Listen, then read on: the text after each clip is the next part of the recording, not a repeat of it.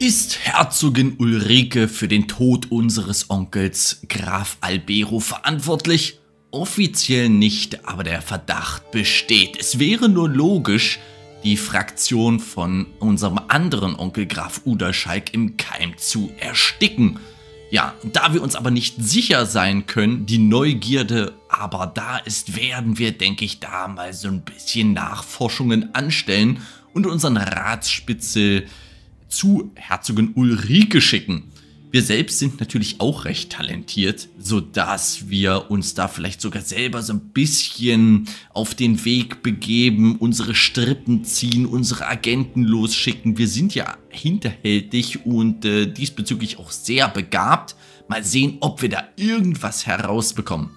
Sollte sich dieser Verdacht bewahrheiten, dann können wir das natürlich auf keinen Fall dulden und dann würden wir tatsächlich unseren Onkel Graf Udalschalk unterstützen bei der Rebellion gegen Herzogin Ulrike. Sollte sich diesbezüglich aber nichts ergeben, ja dann halten wir zuerst die Beine still und werden wie gewohnt abwarten, so deprimierend wie das auch sein mag. Aber ganz ehrlich, ah, das ist schon wirklich ein starker Verdacht und Herzogin Ulrike ist ja selbst nicht besonders hinterhältig, aber arrogant. Also ich denke schon, dass sie denkt, dass sie hier nun mal die rechtmäßige Herrscherin ist und dass jeder, der sich auch nur anmaßt, irgendwie ihre Position in Frage zu stellen, ähm, auf jeden Fall ein Problem darstellt. So, aber jetzt bin ich mal gespannt. Das kann ja auch nicht allzu lange dauern, das herauszufinden. Wir schicken unsere Agenten sofort los. Und dann werden wir direkt mal zum Rad schauen.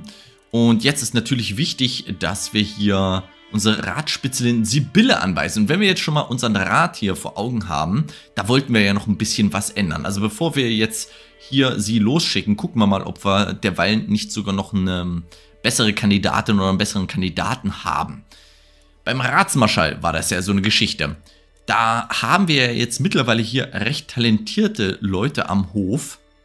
Und zwar einmal Hans von Veny, der hat einen 17er Wert. Und Volkmar einen 15er Kriegsführungswert.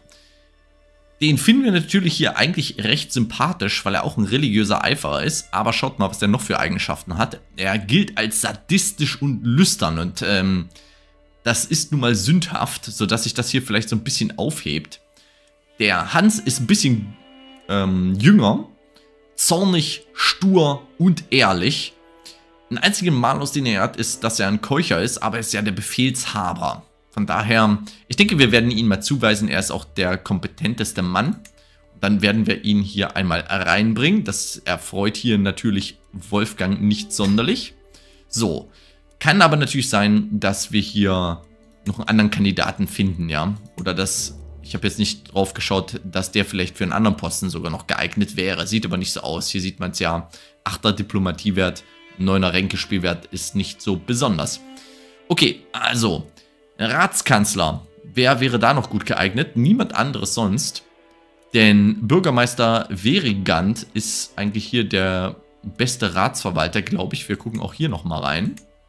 Wie sieht es da aus? Nee, Adalbero ist tatsächlich noch ein bisschen besser. Dann könnten wir die ja austauschen. Hm. Aber ich weiß nicht, ob wir das so unbedingt machen sollten. Jetzt der eine Punkt hin oder her.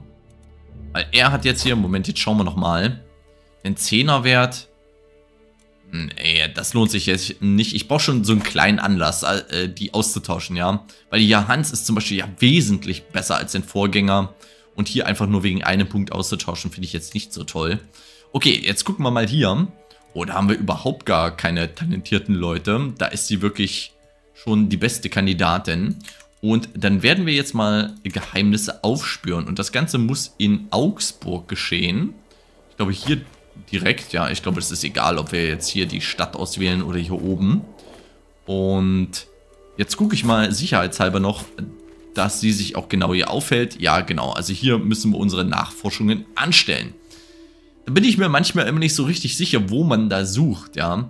Weil wenn unser Onkel ermordet wurde, dann ist das ja nicht hier geschehen, aber sie ist die Täterin. Dort wird, würde man wahrscheinlich nach Hinweisen suchen. Wir können ja nochmal reinschauen. Ich hatte schon ganz vergessen, ähm, was der eigentliche Grund war, was da angegeben worden ist, warum er gestorben ist. Äh, hier hatten wir ja Meginhard und hier bei den Brüdern müsste er jetzt hier eigentlich erscheinen. So, da haben wir es. Und der Grund war offiziell, er geißelte sich zu Tode. Ja, er war auf jeden Fall hier reuevoll, da kann das schon mal passieren, aber trotzdem, mit 51 sich zu Tode geißeln, ähm, ist nicht so ganz klar, ja. Gut, okay. Also, das kann jetzt eigentlich hier so bleiben. Wir lassen die Zeit jetzt einfach mal hier weiterlaufen. Gucken nochmal. Oh, wir können jetzt hier eine Geisel anbieten. Gräfin Tuta. Das hatte ich ja voriges Mal schon so ein bisschen angesprochen, aber ich hatte es jetzt noch nie als Vorschlag. Wir lesen uns das jetzt einfach hier mal durch. Gräfin Tuta von Burgau würde euer Angebot einer Geisel tatsächlich annehmen. Und Geiseln können Bedrohungen abschrecken oder beseitigen, sodass ihr euch anderen Dingen widmen könnt. Des Weiteren gewähren sie dem Wärter monatlich Prestige. Ja, weiß ich nicht. Möchte ich jetzt eigentlich gar nicht mal unbedingt machen. Wir klicken trotzdem mal hier drauf. Clara von Kempten könnten wir ihr, ihr anbieten. Ich meine, das würden wir ja sowieso nicht machen.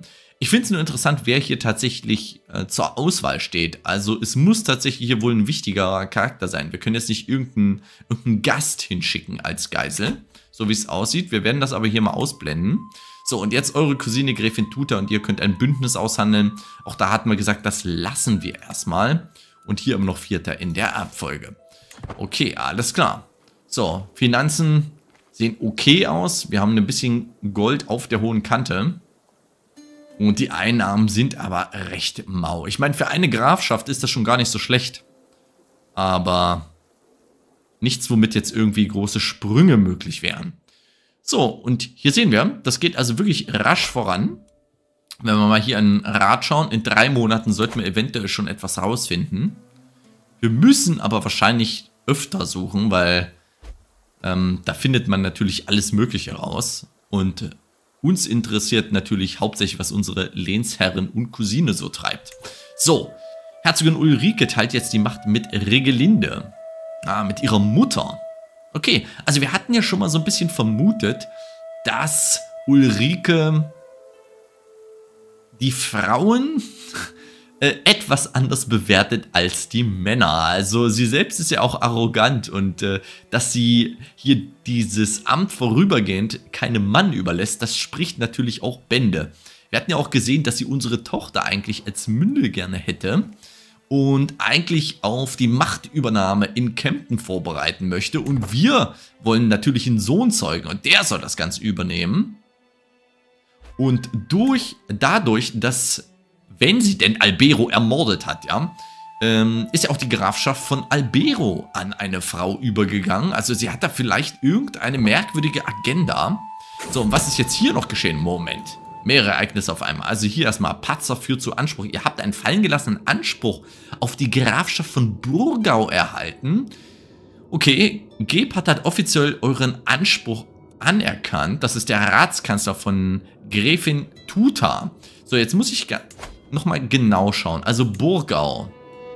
Das ist doch aber hier die Grafschaft von Graf Albero. Ja, genau.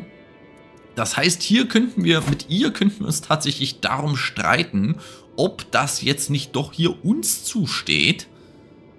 Wäre eine Möglichkeit. Aber ich denke, wir verstehen uns zu gut mit ihr. Wir haben jetzt kein großes Feind, wir sehen kein großes Feindbild in ihr. Ja, sie ist eine Frau, aber so schlimm ist das, glaube ich, für uns nicht. Da müsste schon irgendwas, müssten wir schon noch irgendwas erleben, was sie irgendwie in einem schlechten Licht dastehen lässt, weil, erinnert euch dran, wir sind demütig, ja. Es ist allgemein bekannt, wie sehr Höflinge Intrigen und Komplotte lieben. Dies könnte ich zu meinem Vorteil nutzen. Wenn ich dafür sorge, dass meine Höflinge einander misstrauen und untereinander zanken, fehlen ihnen Zeit und Ressourcen, gegen mich zu intrigieren. Ja, wir sind hinterhältiger Charakter, aber würden wir das so nutzen, dieses Mittel hier, um unsere Macht zu festigen, bin ich mir nicht ganz so sicher. Ich werde sofort damit beginnen, Gerüchte in die Welt zu setzen, wäre eine Möglichkeit. Volkmar, Hans und Sibylle verlieren wechselseitig an 40 Meinungen. Ich meine, das sorgt natürlich auch für eine schlechte Stimmung untereinander. Das kann ja auch nicht sonderlich förderlich sein. Oder solange ich ein paar Spione unter ihnen platziere, kann mir nichts zustoßen. Komplottwiderstand für feindselige Komplotte plus 8. Ja, ich denke, das würden wir eher machen. Wir wollen schon gut informiert sein, ja. Das deckt sich ja auch so ein bisschen mit der Geschichte, dass wir jetzt hier den Hof unserer Lehnsherren ausspionieren. So, und man muss auch sehen, wir haben hier etwas mehr Soldaten als Burgau. Das heißt, so ein Konflikt könnten wir tatsächlich für uns entscheiden, ja. Aber nicht, wenn da nicht wirklich eine Bedrohung da ist. Okay, eine Erinnerung aufzeichnen. Manche Augenblicke müssen für immer festgehalten werden. Ein solcher Augenblick war auch der folgende. Meine Freundin Milian, Herzogin Milian, ah, stimmt, äh, die haben wir noch gar nicht so richtig doll beleuchtet. Auch seine Cousine und Freundin und Inga haben eine Überraschungsgeburtstagsfeier für mich äh, organisiert. So eine unglaubliche Erinnerung muss auf immer und ewig verzeichnet bleiben. Oh, das hat ihm sichtlich gefallen, dass er jetzt noch äh, immer drüber nachdenkt. Ich mag nicht sehr geschickt mit Worten sein, doch mit genügend Zeit und Mühe könnte ich gewiss auch selbst etwas schreiben. Die Zusammenstellung und Illustrierung eines Folianten kann aber rasch zu einem kostspieligen Unterfangen werden. Ah. Hängt so ein bisschen von seiner Bildung ab. Also ich werde es selbst festhalten, so Gott will. Und äh, das kostet hier 50 Gold. Und ihr erhaltet eine Erinnerung, beziehungsweise ein Inga-Artefakt oder ihr erhält eine Erinnerung an Inga-Artefakt. Nicht, dass wir hier ein Artefakt bekommen und das geben wir dann Inga. Oder hierfür ist keine Zeit. Hm. Ist die Frage, wie sehr ihn das umtreibt. Ich würde eigentlich sagen, nein. Und er sollte auch seine Finanzen hier im Blick behalten. Andererseits hat er ein bisschen Gold auf der hohen Kante. Wir würfeln es mal aus. Ich persönlich hoffe ja, dass er sich dagegen entscheidet. Und wir würfeln eine 4. Ja, und er sagt tatsächlich, hierfür ist keine Zeit. Dafür können, wir unsere Kost, unser kostbar und langwierig angespartes Gold nicht rausschmeißen. Und ich denke, das ist ganz vernünftig so neue Ansprüche von allen Possen, die ich schon erlebt habe. Das geistlose Bemühen von Ulrich, meine Beziehung zu meinem Nachbarn zu verbessern, hat meinen nichtsnutzigen Ratskanzler dazu verleitet, den Anspruch von Gräfin, Gräfin Dorothea auf die Grafschaft von Kempten offiziell anzuerkennen. Ja, das ist natürlich ein Problem. Weil 564 Mann, sadistisch, arrogant und tapfer, das stellt durchaus eine Gefahr dar. Hm. Wir brauchen hier Bündnispartner. Wenn die jetzt sich entscheiden sollten, hier Kempten zu erobern, wer ist denn hier die Lehnsherrin? Herzogin Carlotte, die Versucherin von Schwaben. Schauen wir doch mal rein. 2262 Mann. Okay und Lehnsherr hier König Philipp der Starke. Ja, wobei, wenn die jetzt hier einfallen, dann ist das ja letztendlich ein Krieg zwischen dem Ostfrankenreich und Bayern, oder etwa nicht? Wir sollten mir Freunde verschaffen und keine Feinde. Das heißt, ähm, das wird jetzt wahrscheinlich nicht einfach so ausbrechen, so im Krieg. So, hier haben wir 4350 Mann, 4000 Mann. Okay, wenn die wieder bei voller Stärke sind, dann sind die mehr oder minder hier ebenbürtig. Haben die nicht sogar miteinander ein Bündnis? Es sieht aber nicht danach aus. Okay, also hier müssen wir jetzt wirklich aufpassen. Und die einzige Möglichkeit, hier stärker zu werden und wehrhafter zu werden, ist eigentlich hier über eine Verlobung unserer Tochter. Wir können ja mal schauen, ob da mittlerweile irgendwas anderes möglich wäre. Oh, das ist hier aber eine, eine starke Grafschaft. Misko Zabratsky. Okay. Die sind ja zumindest katholisch. Polen. Oder Graf Geoffroy von Amiens. 851 Mann. Der aber jetzt hier 49 ist. Das ist vielleicht ein bisschen merkwürdig. Wen haben wir denn hier noch? Die Grafschaft von Neapel. Auch gar nicht so schlecht. Moment, wir gucken direkt mal hin, wo sich die befindet. Hier. Weil die sollten sich natürlich idealerweise, wenn wir sie als Verbündete benötigen, dass sie hier schnell aushelfen können, auch in unserer Nähe befinden, ja. Das ist immer so ein Problem, wenn das nicht der Fall ist. Okay, die müssten hier durch Bayern halt einen Großteil durchmarschieren, um uns zur Hilfe zu eilen. Und ähm, Die befinden sich hier im Westfrankenreich ganz weit drüben. Also ganz ehrlich, ich finde das gar nicht so schlecht. Eventuell hier mit dieser Grafschaft ein Bündnis ähm, abzuschließen. Er hat überhaupt gar keinen kein Lehnsherrn, kann das sein? Ist er hier ein ganz eigenständiger Graf? Ist natürlich auch so eine Sache. Was passiert, wenn hier irgendwelche Überfälle stattfinden? Andererseits sichert das unsere Position ganz schön ab, ja. 1000 Mann hier als Verbündeten. Ich glaube, wir nutzen hier diese Möglichkeit. Was haben wir hier noch? Ein zweijähriger Franzose, die Grafschaft von Chartres. 725 Mann. Das würde vom Alter natürlich vielleicht ein bisschen besser passen. Oh, das ist auch ein religiöser Eiferer hier. Der, der Vater, so wie es aussieht, oder? Das ist doch hier der Sohn. Enkel von König Karloman. Oh. Ja, das gibt auch ordentlich Prestige hier dann, ne? Bemerkenswert, würden die hier überhaupt eine Verbindung eingehen. Ja, die werden militärisch ein bisschen schwächer. Ja, okay, die sind jetzt auch nicht so nah dran. Aber ich denke, von der Kultur sind wir da vielleicht noch ein bisschen, bisschen näher dran. Und diese Situation hier, die ist ein bisschen instabil, fürchte ich jetzt mal. Okay. Ja, und vom Alter, wie gesagt, passt mir das auch ein bisschen mehr. Dann gehen wir vielleicht dieses äh, Bündnis hier ein. Wir können ja nochmal schauen. Lehnsherr ist hier Herzog Fabrice von Anjou. Wir gucken ihn nochmal an. Das ist ein Zwilling. Okay, ich denke, wir, wir gehen dieses Bündnis hier mal ein, wenn die annehmen, ja ganz knapp sogar. Und es sollte hier wirklich viel Prestige geben. Das ist natürlich auch noch was, was hier reinzählt. In so eine prestigeträchtige äh, Dynastie hier einzuheiraten, das ist natürlich schon ordentlich. Jetzt stehen wir natürlich hier wieder vor der Wahl. Es ist unsere einzige Tochter und Spielererben. Bedeutet wieder, wir sollten normalerweise hier natürlich eine matrilineare Heirat eingehen. Aber ich meine, es ist ja wirklich noch sehr früh, 29, unser erstes Kind. Wir gehen jetzt einfach mal davon aus, dass wir noch einen Sohn zeugen können. Und man sieht ja auch, dass die Heirat hier sonst gar nicht möglich ist. Da müssen wir jetzt eine viel schlechtere Verbindung eingehen. Und ich finde das eigentlich eine ganz gute Partie. Gut, dann werden wir einfach mal diesen Vorschlag abschicken und hoffen, dass das Abschreckung genug ist, dass Ravensburg hier nicht in Kempten einfällt. Und dadurch, dass wir hier natürlich recht viel Prestige haben, sollte sich herausstellen, dass unsere Lehnsherren da ihre Verwandtschaft niedermetzelt und wir uns erheben müssen, dann haben wir auch einen sehr schönen Bündnispartner. So allzu gern nehme ich das vorgeschlagene Verlöbnis an. Eure Tochter und Erbin Clara und mein Sohn Hemmelin, ne?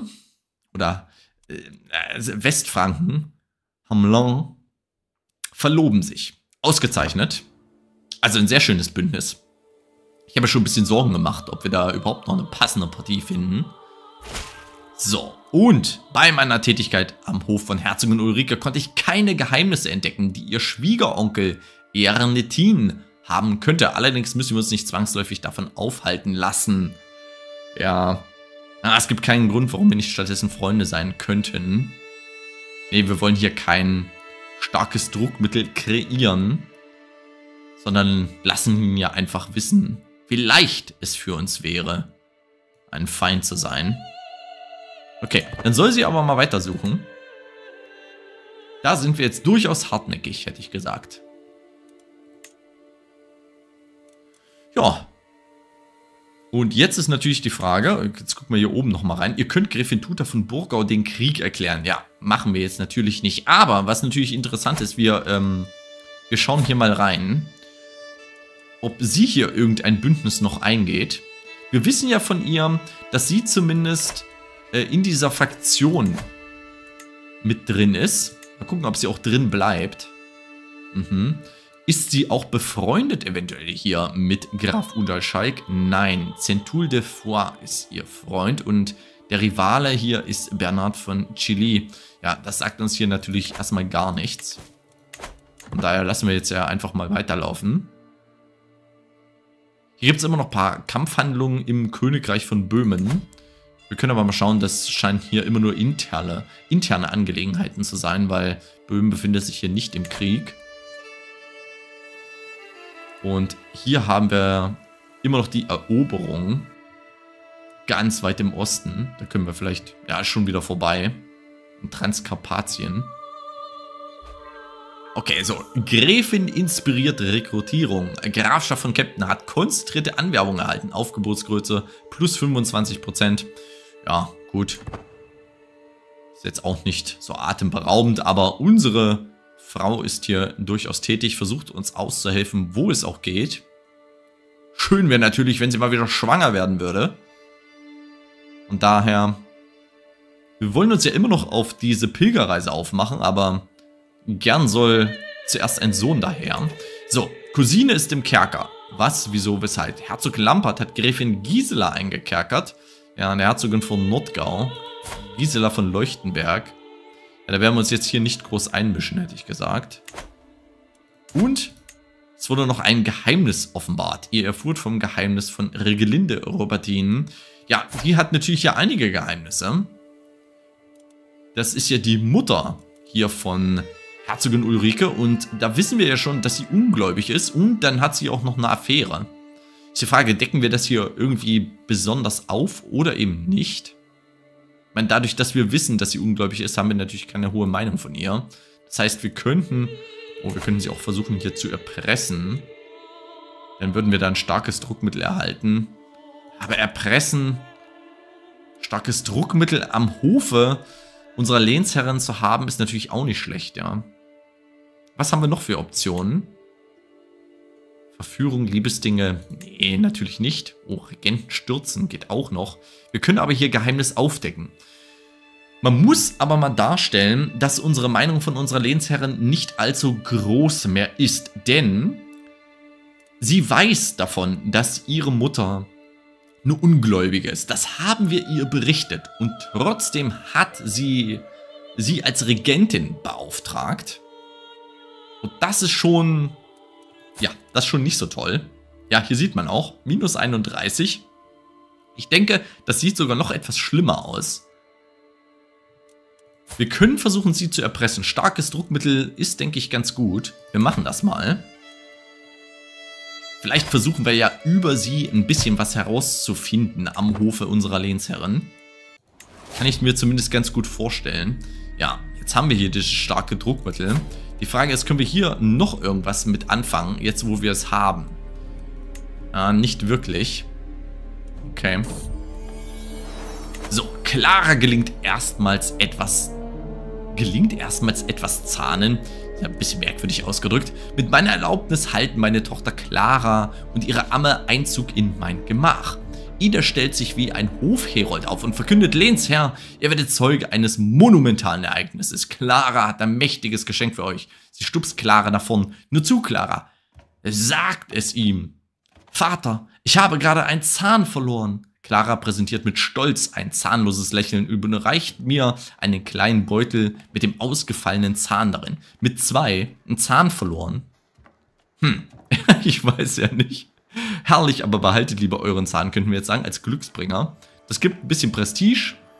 Und Clara selbst wird der Eigentümer vom Milchzahn. Kindermeinung plus 10, okay. Oder hier ein Geschenk verlangt nach einem Geschenk. Wir bezahlen 5 Gold an Clara und wir werden Eigentümer von diesem Milchzahn. Oder dafür habe ich keine Zeit. Nö, schon. Ähm, was machen wir denn? Hm, wir sind demütig, nehmen das entgegen. Würden wir aber das zurückweisen? Nee, wir finden das Herz allerliebst und überreichen ihr auch noch ein bisschen Gold. Das passt schon.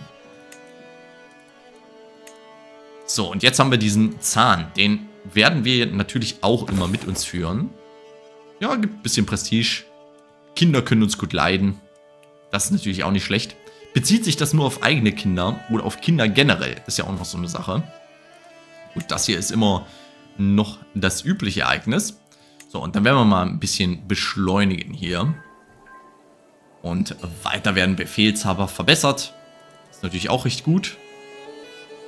Das wird jetzt hoffentlich auch öfter stattfinden, einfach weil unser Ratsmarschall jetzt natürlich wesentlich fähiger ist. So, jetzt haben wir hier ein neues Ereignis. Bei der Erfüllung ihrer Pflichten als Ratspitze ist Sibylle auf ein Geheimnis gestoßen, das Bürgermeister Hunfried von Kaufbeuren hat. Er scheint insgesamt Zweifel an den katholischen Doktrinen zu haben, oh Hunfried. Was sollen denn nur die Priester sagen? Bürgermeister Hunfried von Kaufbeuren. Ein Mitvasal. Also, wo befindet sich der? Ah, hier. Okay. Ich meine, das ist uns natürlich auch ein Dorn im Auge. Aber da werden wir jetzt nicht groß aktiv werden. Wir werden jetzt nicht versuchen, diesen Bürgermeister hier zu stürzen. Aber es ergibt sich natürlich für uns so ein gewisses Bild.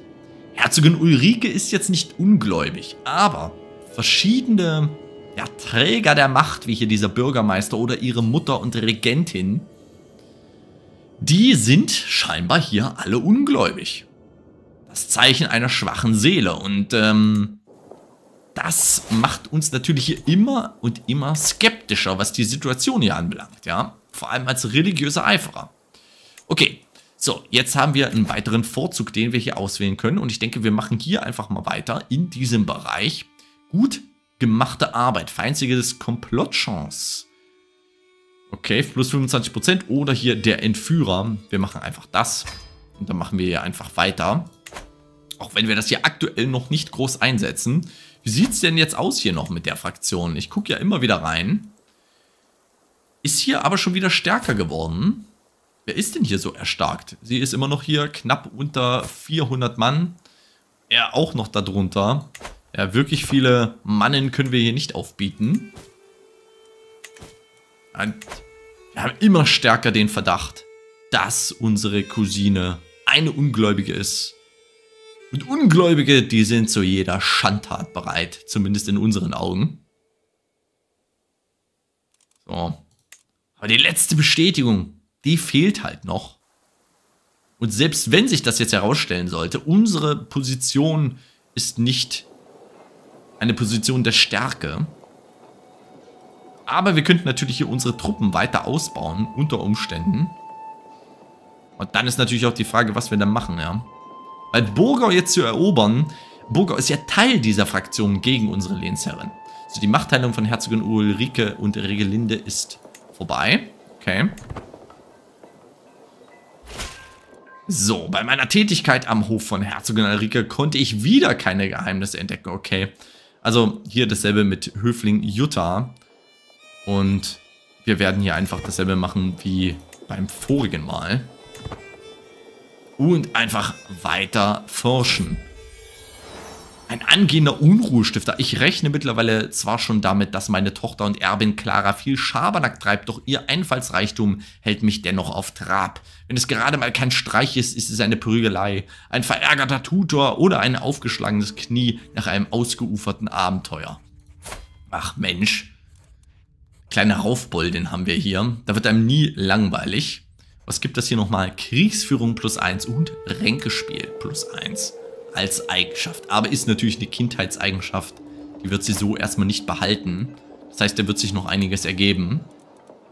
So. Ich denke, das können wir hier auch komplett mal wegklicken. Ist nur ein bisschen komisch, dass das hier dann immer die ganze Zeit auch so aufleuchtet. Die Frage ist, ob wir mit unserem Gold in der Zwischenzeit noch etwas anstellen. Und ich würde sagen, wir sind recht vorsichtig erstmal mit unseren Ausgaben eben wegen dieses Verdachts hier und weil wir auch noch ein bisschen Bedenken haben, dass eventuell hier ähm, die Gräfin Dorothea ihren Anspruch durchsetzen möchte. Über die Jahre hinweg habe ich zahlreiche großartige Porträts verschiedener Edelfrauen aus diesem und anderen Ländern erhalten. Bisher sammelten die meisten jedoch nur Staub auf dem Dachboden. Vielleicht sollte ich sie runterholen und mir meine nächste romantische Errungenschaft auswählen. Wie bitte eine neue Flamme? Wir würden uns diese Bilder betrachten und dann schauen, wen wir dann kontaktieren oder was? Ich könnte mir jemand Neues sehr gut vorstellen. Oder sie sind für meinen Geschmack zu protzig. Ihr haltet fünf Jahre lang wählerisch bei der Partnersuche. Was bedeutet das? Dieser Charakter ist berüchtigt dafür, wie wählerisch er bei der Entscheidung ist, mit wem er sich auf eine Beziehung einlassen will. Anziehungsmeinung geht hoch. Hm. Ist natürlich so eine Sache. Ja, die Heiligkeit der Ehe, religiöser Eiferer. Aber wo ist hier der weitere Nachwuchs? der lässt doch hier ziemlich auf sich warten. Ich meine, unsere Tochter ist jetzt mittlerweile schon drei. Und da kann es schon sein, dass er sich diesbezüglich ein bisschen Gedanken macht. Gar nicht aus der Lust, sondern mehr aus der Pflicht heraus. Ja, und äh, da würde ich sagen, schauen wir uns doch erstmal die Porträts an. So ein gewisses Bedürfnis scheint ja da zu sein. Machen wir das mal.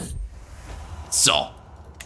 Ah, die empfindsame Gräfin Marvenna von Konstantin. Oh, hübsche junge Frau, 17 Jahre alt, ob wir wohl ein gutes Paar abgeben würden. Schauen wir doch mal. Oh, auch eine religiöse Eiferin, ebenfalls hinterlistig, aber aktuell auch schon schwanger, aber vielleicht auch ein Zeichen von hoher Fruchtbarkeit.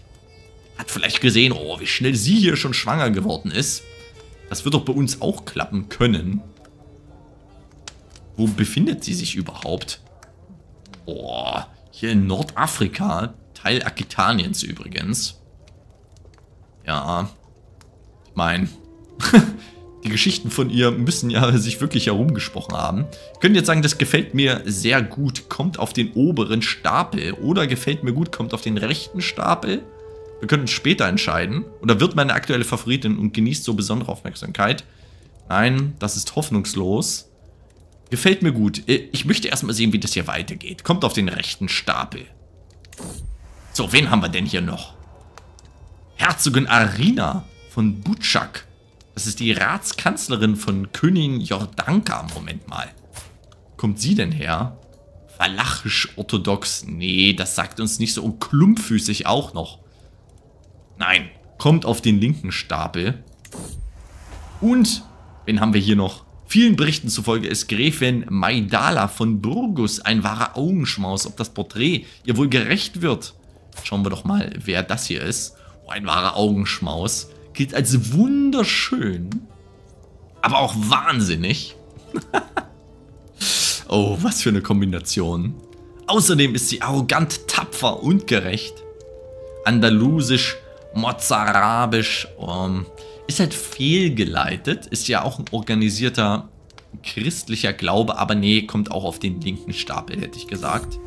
Auch wenn sie so wunderschön ist. Oh, was ist denn mit der hier los? Die ist schon vernarbt und flagellant. Ah, wie doll stößt uns sowas ab. Ich denke schon, zumal wir eigentlich schon eine ganz gute Kandidatin auf unserem Stapel haben, auf dem rechten. Nein, kommt auf den linken Stapel. Ich meine, wie viele Gemälde haben wir denn da oben? Ah, die wohlmeinende Königin Helena von Böhmen. Die Königin. Was ist das denn hier? Umstrittene Abstammung. Mhm gilt als zufrieden, mitfühlend und gierig. Das könnten wir sagen, gefällt mir gut. Kommt vielleicht doch auf den rechten Stapel. Ich meine, kann schon sein, dass sie uns zusagt, ja. Also wenn wir hier schon einen Stapel machen, dann kommt sie zumindest mal hier auf den rechten Stapel. Und wer ist das noch? An der Rückseite des Porträts ist ein Brief angebracht. In ihm beschreibt Gräfin Mafalda von Montargis sich als spontanen Geist, der sich nach Abenteuern sehnt. Ah, der ist so ein bisschen übergewichtig, auch eine religiöse Eiferin, gilt als Ehebrecherin. Ah, ich weiß ja nicht, finden wir wahrscheinlich nicht so gut. Was hat die hier denn für ein enormes Kampfgeschick? Nein, danke, kommt auf den linken Stapel, vor der muss man ja richtig Angst haben. So, und jetzt auf ihrem Porträt posiert Rada, Tochter von Graf Marco von Sumadija, einem possierlichen kleinen Hund. Gilt als unzüchtig, orthodox-bulgarisch. Nein, kommt auf den linken Stapel. Das geht hier weiter und weiter. Gräfin Katalin, Gemahlin von Graf Bohu von Spie. Schauen wir sie mal an. Auch eine religiöse Eiferin. Wo stammt sie her? Ja, aber gehört auch so einer fremden, zum fremden Glauben und fremder Kultur an. Kommt auf den linken Stapel. So, und Gräfin Paola, Gemahlin von Graf Adalbert von äh, Modena. Schauen wir mal, wo das hier ist. Hm, kommt aus dem Bereich. So, 28 Jahre alt. Gilt als tapfer, treuherzig und zynisch. Katholisch, cisalpinisch. Okay, kommt mal auf den rechten Stapel, hätte ich gesagt. So, und jetzt haben wir drei Kandidatinnen. Und da können wir uns jetzt hier so ein bisschen entscheiden entweder Gräfin Paola oder Königin Helena vom König von Böhmen oder Gräfin Marvenna. Ja, und ich würde sagen, wir fühlen uns hier am meisten zu ihr hingezogen. Sie ist auch noch recht jung und ich weiß nicht, wenn wir jetzt hier sagen würden, ich habe nur Augen für die galante Paola, kommt einer intimen Beziehung mit euch näher. Ich weiß nicht, mit der Königin von Böhmen, ich kann mir das einfach nicht vorstellen, dass wir da eine Beziehung irgendwie aufbauen. Vielleicht ist sie hier irgendwie in, in Bayern zu Besuch oder sowas in der Art.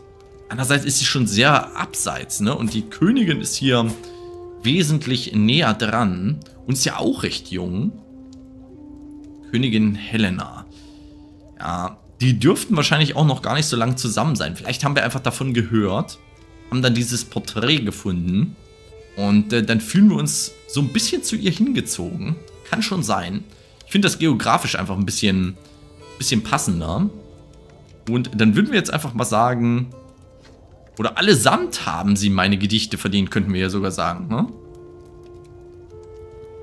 Wir können uns gar nicht hier für nur eine so richtig entscheiden, ne? Ich werde an derlei Menschen nicht meine Zeit vergeuden. Oder allesamt oder nur Paola. Ah, hätte ich mal geschaut. Ich dachte, ich kann mich jetzt hier wirklich für eine entscheiden. Was würde hier passieren? Jeder, dessen Porträt ich behalten habe, nähert sich einer intimen Beziehung an. Moment, jedem hier? Okay, ich meine, alle finden wir irgendwie gut und dann schauen wir mal, was sich ergibt, oder? Warum nicht? Ja, man darf gespannt sein. Und jetzt wurde hier noch ein Geheimnis offenbart, da schauen wir uns auch noch schnell mal an. Ihr erfuhrt vom Geheimnis von Bona de la Tour du Pin. Sie ist ungläubig und Hofärztin von Herzogin Ulrike. Wieder eine Ungläubige hier. Das gibt's doch nicht. Aber auch hier werden wir, denke ich, versuchen, sie zu erpressen und ein starkes Druckmittel, um ein starkes Druckmittel zu erhalten. Das machen wir auch. Dann haben wir hier schon zwei sehr wichtige Mitglieder am Hof von unserer Lehnsherrin. Ja. Und jetzt bekommen wir ja auch schon die Nachricht von den verehrten Damen hier. An den bescheidenen Graf Gundbert, eure Abstammung ist wie Balsam für meine wunde Seele. Es wäre ein Segen für mich, euch in meiner Nähe zu haben, damit ich endlich erfahre, ob euer Kampfgeschick die Schlacht für sich entscheiden kann. Geliebter Gundbert. Was passiert hier? Haben wir jetzt hier irgendwie drei Affären oder, oder was ist hier los? Moment, wir, wir schauen nochmal. Beziehungen. Nee, ist hier zumindest noch nicht aufgelistet, aber wer weiß. So, jetzt müssen wir mal hier pausieren. Und hier geht's noch weiter an den bescheidenen Graf Gunbert. Eure vollen Lippen sind wie die Flügel, mit denen ich zum Himmel aufsteige. Ich wünsche mir nur, an eurer Seite zu sein, damit ich endlich erfahren kann, wie mich das Göttliche selbst berührt, wie sehr ich mich nach euch sehne. Okay. Und dann bekommen wir noch eine Rückmeldung, nämlich von der Königin. Jetzt bin ich mal gespannt. Euer ovales Gesicht ist, was meinem Leben Bedeutung schenkt. Mein Herz sehnt sich danach, von eurer Liebe umfangen zu werden, damit ich endlich erfahre, ob euer Kampfgeschick die Schlacht für sich entscheiden kann. Wir beide sind es, die wir gemeinsam die Sonne über den Himmel ziehen lassen. Ähm, sie ist jetzt in einer Intimbeziehung. Die sind alle in einer intimen Beziehung mit uns. Das gibt's doch nicht. Wie, wie kann denn das jetzt hier passiert sein? Na gut. Ich lasse das jetzt hier mal so im Raum stehen. Ich bin gespannt, was hier die Zeit mit sich bringt. Vielen Dank fürs Zusehen und bis zum nächsten Mal.